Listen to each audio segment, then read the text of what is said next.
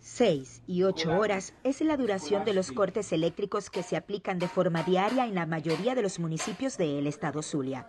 El pasado mes de marzo, el ministro de Energía Eléctrica, Néstor Reverol, aseguró que a finales del mes de abril, el Zulia estaría libre de apagones. Sin embargo, estando ya en mayo, la situación no mejora.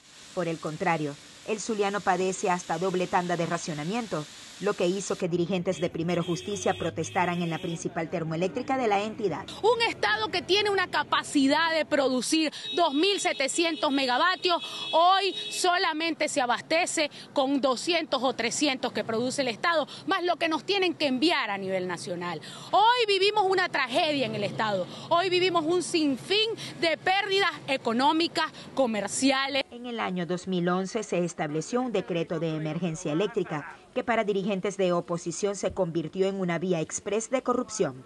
Desde entonces, el Zulia, además de haber padecido varios apagones generales, vive en un perenne racionamiento eléctrico que en municipios foráneos llegan a superar hasta las 12 horas. En el estado Zulia comenzaron por dos horas y ya vamos por 6, 8 y hasta 16 horas en algunos municipios.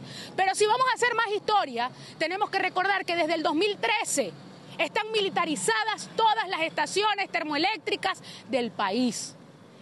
Entonces, ¿de qué sabotaje, de qué carajo sabotaje están hablando? ¿Por qué siguen mintiéndole a la gente? ¿Por qué siguen mintiéndole al pueblo venezolano? ¿Por qué no admiten que las tres razones fundamentales por las que no hay energía es la desprofesionalización del servicio, la politización del servicio y la corrupción galopante que no permite que se invierta en el sistema eléctrico? Los dirigentes no fueron recibidos por la gerencia de Corpoelec, pero aseguraron que continuarán protestando ante las diversas sedes eléctricas. Desde el Estado Zulia para EBTV Noticias, Madeline Palmar.